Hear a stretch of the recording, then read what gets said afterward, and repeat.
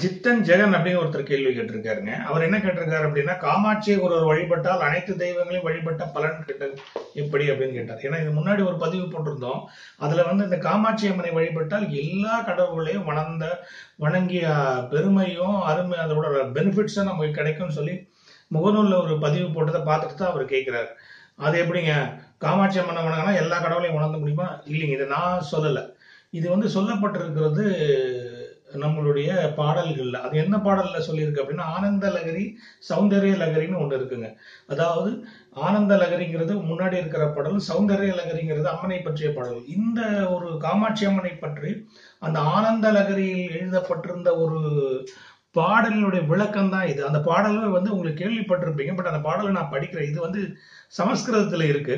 So அந்த பாடல் சிவ சத்யா இதோ இத்யோ இதி பவதி சக்த பிரபவிதம் நச்சேதம் தேவோ நகலு குசல சமந்தித்து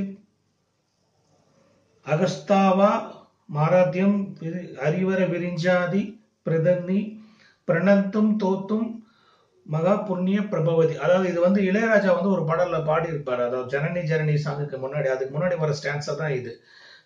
இதுல என்ன இதோட அர்த்தம் அப்படின்னா ஏ உன்னுடன் இருக்கும் பரமசிவன் சேர்ந்து இருந்தால்தான் சிருஷ்டி ஆக்கம் அழித்தல் காத்தல் அழித்தல் போன்ற தொழில்களை அவரால் செய்ய இயலும். முத்தொழிலும் அவரால் செய்ய முடியும். அவர் நீ இல்லாவிட்டால் அவரால் அதை மாதிரி செய்ய முடியாது விஷ்ணு சிவன் போன்றோர் போன்றோர்கள் மூவரும் உன்னை துதி மூவரும் போற்றி துதிக்கும் அன்னையே. உன்னை உன்னை நான் இப்போது துதிப்பதற்கு முற்பிறவில் என்ன புண்ணியம் செய்திருப்பேன்? அப்படிங்கிறதா இந்த பாடலோட அர்த்தம். அதாவது பிரம்மா விஷ்ணு சிவன் போன்றோர்கள் வழிபட்ட ஒரு அன்னை தான் வந்து காமாட்சி அம்மன். இதைத்தான் இந்த பாடல்கள்ல அவர் சொல்றாரு. இது வந்து மிக அற்புதமான ஒரு விஷயம். ஸோ அன்னை காமாட்சி அன்னையை வழிபடுகிற பொழுது உங்களை அனைத்து தெய்வங்களையும் நீங்க வழிபட்ட ஒரு பலன் வந்து நமக்கு கிடைக்கும் அப்படிங்கறதான் இந்த ஸ்லோகத்துல அவங்க சொல்லியிருக்கிறாங்க. இது வந்து ரொம்ப முக்கியம். ரெண்டாவது என்னன்னா இதுல இன்னொரு விஷயம் அந்த பாடல்ல அவர் சொல்லியிருக்காரு. சிவன் சக்தி இல்லைன்னா இயங்க முடியாது. அவருடைய எல்லா விஷயங்களும் சக்ஸஸ்க்கும் அவங்க தான் காரணம்.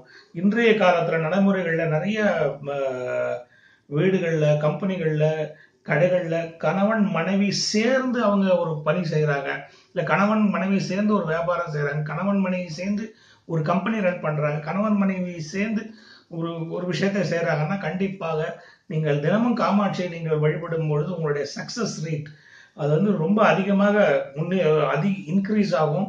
இது போகும் அப்படிங்கிறதா இந்த ஸ்லோகத்திலே சொல்லப்பட்டிருக்கிறதுனால காமாட்சி அம்மனை உங்கள் கடைகள் கணவன் மனைவி சேர்ந்து இயங்கும் கடைகளிலோ வீடுகளிலோ வீடுகளில் கண்டிப்பாக இருக்கணும். ஏன்னா விளக்குக்கு பேரே காமாட்சி அம்மன் விளக்குத்தான் உங்கள் கடைகளிலோ வியாபார தலங்களிலோ கம்பெனிகளிலோ கணவன் மனைவி சேர்ந்து இயங்குகிற பொழுது காமாட்சி அம்மன் படத்தை வைத்து நீங்கள் பூஜை செய்து வந்தால் உங்களுடைய வெற்றி பல மடங்காகும் அப்படிங்கிறது சௌந்தர்ய அலங்கரியில் தெளிவாக சொல்லப்பட்டிருக்கிறது. ஜித்தன் ஜெகன் சார் காமாட்சி வழிபட்டால் மும்மூர்த்திகளை வழிபட்ட பலன் கிடைக்கும் அப்படிங்கறத இதோட ப அர்த்தங்க.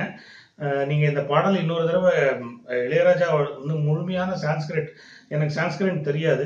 ஸோ அதை எடுத்து தமிழில் எழுதி அதில் மீனிங்ஸை பிடிச்சி நான் உங்கள்கிட்ட பேசிட்டு இருக்கேன். ஸோ அதை நீங்கள் பாடலை கேட்கும் பொழுது அதன் அர்த்தத்தை நீங்கள் உணர்ந்தீங்கன்னா இது ரொம்ப ஈஸியான ஒரு விஷயம். கண்டிப்பாக காமாட்சி அம்மனை வழிபடும் போது நம் வாழ்வில் கண்டிப்பாக முன்னேற்றமும் ஏற்றமும் ஏற்படுங்க இதில் எந்த டவுட்டும் இல்லைங்க.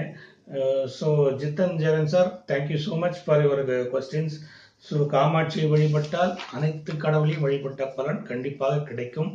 Uh, கண்டிப்பாக இதை வழிபடுங்க வாழ்க்கையில் முன்னேறுங்கள்.